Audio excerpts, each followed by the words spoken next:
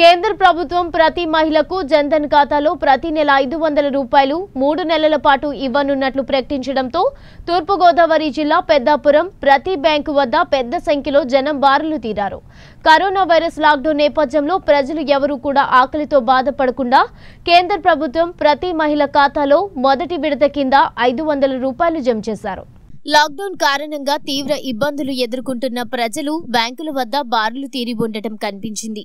దీంతో విషయం తెలుసుకున్న పెద్దాపురం ఎస్ఐ తమ సిబ్బందితో వచ్చి బ్యాంకులో ఒకే చోట జనం గుమిగూడకుండా సామాజిక దూరాన్ని పాటించేలా చర్యలు తీసుకున్నారు.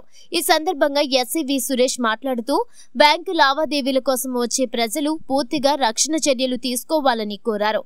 మాస్కులు ధరించాలని కోరారు. సామాజిక దూరాన్ని పాటించడం ద్వారా కరోనా వైరస్ నియంత్రణ చేయవచ్చునని పేర్కొన్నారు. ఖాతాదారులు తమ నగదును ఎప్పుడైనా తీసుకోవచ్చునని తెలిపారు.